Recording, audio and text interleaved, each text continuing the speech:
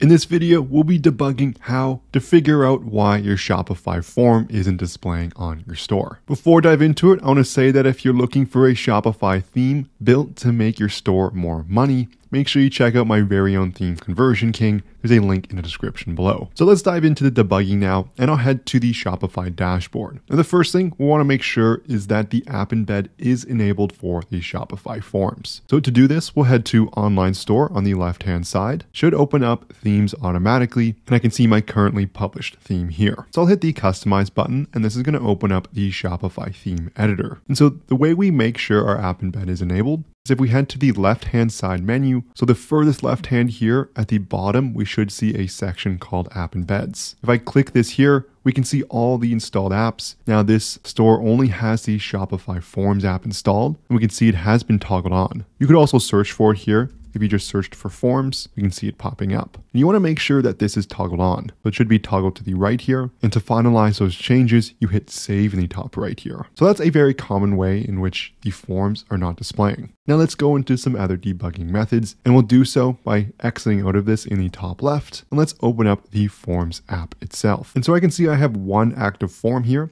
let's click into it and just a few settings we'll want to check. First up, you just want to make sure that it's active as you can easily turn it off and see how it's inactive. If I were to go back to my dashboard here, I can see it is inactive and we can turn it on by just clicking this turn form on. Next up, I'm going to scroll down and we're going to go to the behavior section of this page. And so this is going to govern the behavior on when this pop-up displays. As there are some settings around devices, so it could be just on desktop or mobile, depending how you set it up. And it might not be displaying because you could be on the incorrect device. So I'll leave this as all devices here. Next up, you want to check which pages it's supposed to display. By default, it should show on all pages, but there may be settings. So let's say I just got rid of all these checkboxes here and it's only going to show up on the customers page. So you want to make sure that it's not filtering too much. So I'm going to go and re-enable all of these. Next up, we want to check the trigger. So this is going to be when it displays. So it could be on first page view, second page view, or third page view. And you also want to check the delay as maybe if it's too long, it's just going to take forever to show up. So you want to review these settings just to make sure that you're not over filtering here and that's preventing the pop-up from displaying. To finalize your changes, we'll just hit save at the top here. And if it's still not displaying, what I'm going to recommend you do is test it out in different browsers. So if you're using Google, head to Safari or even go to a new device. What I'd recommend is going into incognito mode as well in the browser as it's going to help block maybe different extensions you might be running in your browser. And it's also going to reset the cache as sometimes with these pop-ups too, depending on your settings, it might only display for the first time a user gets to your site. Additionally, you want to disable a VPN if you have that enabled as well, as that can cause other issues too. So overall, you want to make sure that the app embed is enabled. Next, you want to make sure that there are no extra filtering settings that you've enabled for your form, and you want to make sure your form is active. Lastly, to test it out, you want to make sure you're using a different browser, specifically in incognito mode, that's going to help block some of the other extensions and basically have a fresh load of your Shopify store. And if it's still not displaying, what's most likely happening is there's a conflict with other apps you may have installed on your store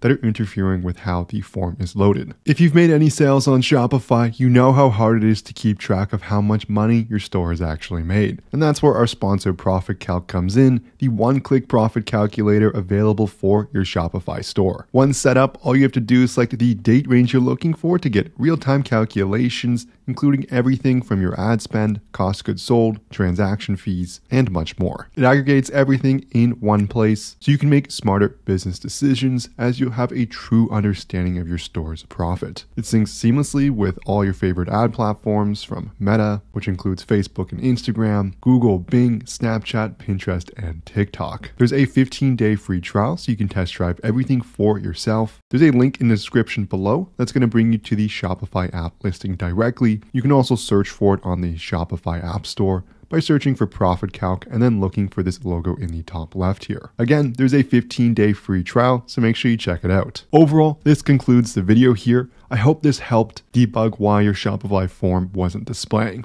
If it helped at all, I would love it so much if you smash that like and subscribe button below. If you have any questions, leave a comment. Also, make sure you check out my very own Shopify theme, Conversion King. It's packed with 20 plus built in conversion boosting features, saving you up to $1,944 a year on app subscriptions. It's designed to boost sales in any niche, and there's a full 60 day money back guarantee. And again, there's a link in the description below, so make sure you check that out. Thank you so much for watching, and I'll see you in the next video.